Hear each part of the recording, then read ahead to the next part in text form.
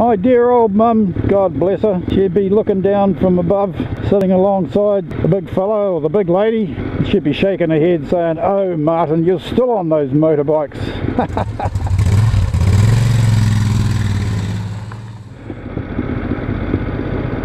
but my mother once told me a story about our family history.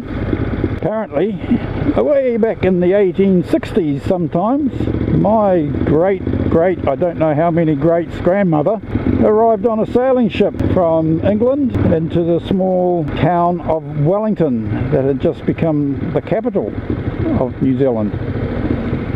And from there, she walked through the muddy track and bush north to the town of Palmerston, the home of the Kiwi Badger these days.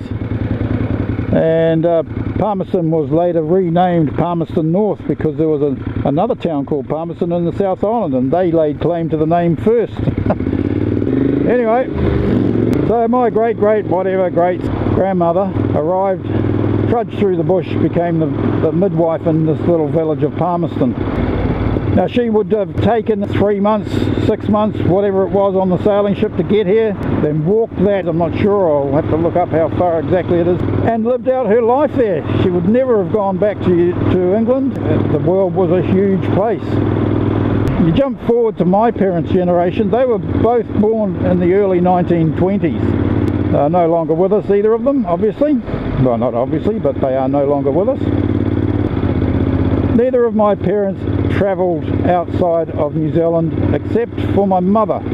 Took a very brief trip to Australia in her later years.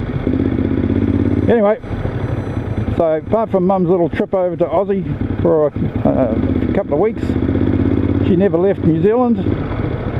And my father never left the North Island in his whole life. They had six kids. All of us have travelled to one degree or another. Some were away only for a couple of years, some were away for many years. I spent a couple of years travelling and two, two lots of one year away. So when I was travelling and when my siblings were travelling, there was no such thing as emails or FaceTime or Facebook or anything like that. And so you'd write a letter home once a month, if you're lucky, once every six months, if you're me, and the letters would be quite long and tell everybody that you're alive and what you're up to. Well now, my kids are getting to that age. The non-resident teenager you've met in a few of my videos is currently in Germany. When he left school at the end of uh, 2015, all he wanted to do was travel. And so he, he had uh, work that provided him some savings and away he went. So he's been in Germany for quite a few months now. And just before New Year's Eve, this uh, few weeks ago, there was a knock on our door and wifey was home and uh, I'd just gotten up from night shift and I hear this, oh, how, how are you? And it was my son's girlfriend. And I thought, oh damn, where's my pants? Because I'd just gotten out of bed. So I ducked into the kitchen out of the way and then the whole level of that noise went up another notch because my son had come home from Germany for four weeks.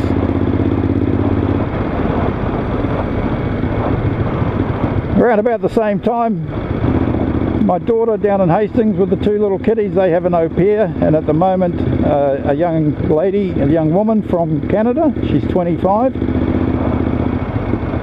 She found out that one of her siblings had um, was having issues back home.